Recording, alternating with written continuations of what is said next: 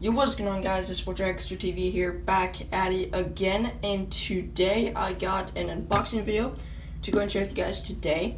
So, off of GoPowerSports.com, I recently ordered the 30 series torque converter clutch to go on my 212 Predator.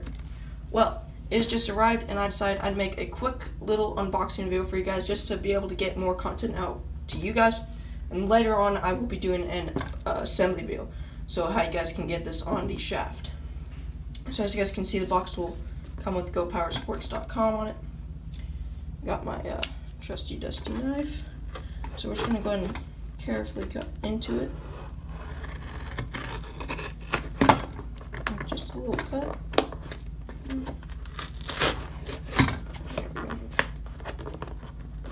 Make a little bit longer cut.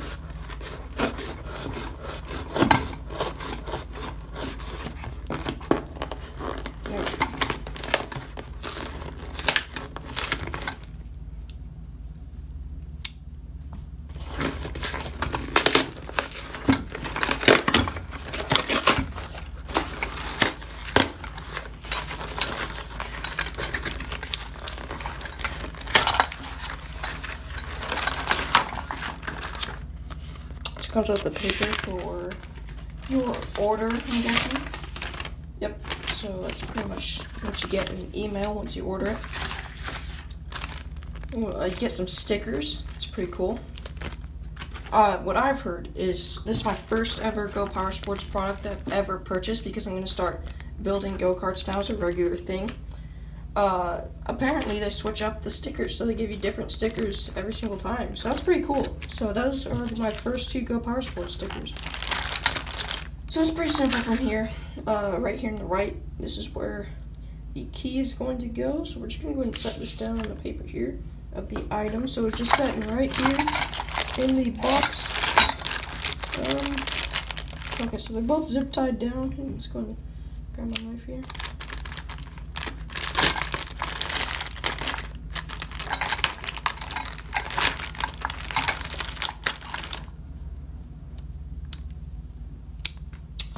Cutting it open is pretty simple. If you have knife or scissors, to you. Weighs about mm, five pounds, maybe. Mm, maybe about ten or so. I don't know. It's gonna come zip tied together.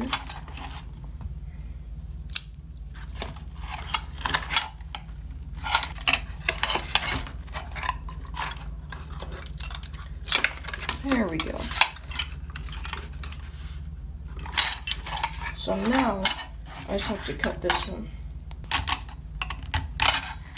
There we go. Safety second, guys. I'm just kidding. Safety first. so we got this, uh, this little ring here.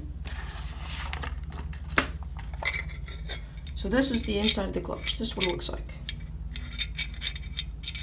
It slides in and out.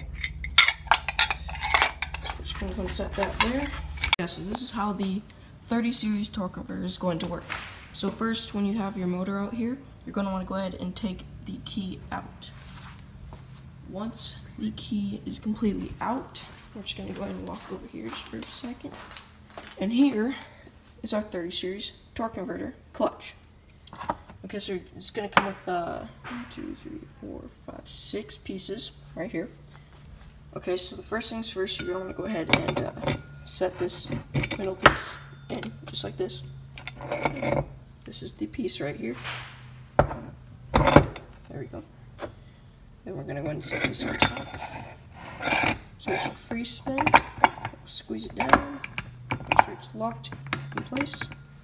I'm going to go and take this black piece. Um, and with this little key right there, I'm going to go and take this black piece, set in there so it shouldn't move. And then we're going to go and take this little ring, set on this piece, just like this. Now, we're going to pick this big thing up and line it all up. Oops, that fell out. And once you guys set it on top, resulting in a look something like this. Make sure that it is set down nice and tight. And that is your 30 series torque converter clutch. That is the assembly. Sorry guys, so I did the unboxing and I just decided I'd come out here and do the quick assembly just for myself for the 212. But remember guys, something that Go Power Sports does not mention. You guys have to um, take out the key first. And then this will all slide on.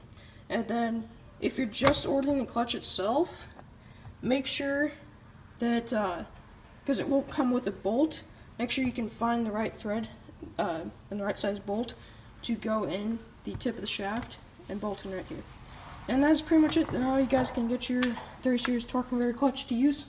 And yeah, the unboxing is pretty simple. You just open it up and, uh, sorry, cutting the zip ties was just a bit tricky.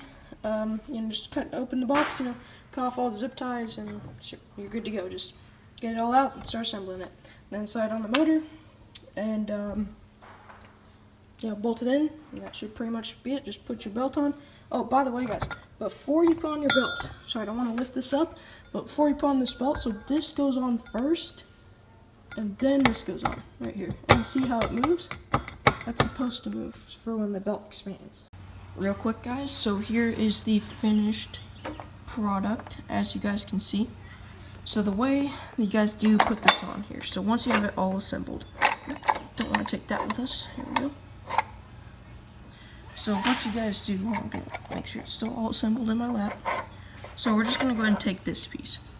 You're going to see that little key notch. So I'm going to make sure that we have that lined up with this on it right here. And then we're going to go ahead and take, oh, that fell out on the top, but we'll just put it back on. It's just the little black piece. So we're just to go ahead and slide this on like so. Real quick. We're just to go ahead while that sits there grab this off the floor, find the keyway, put it on.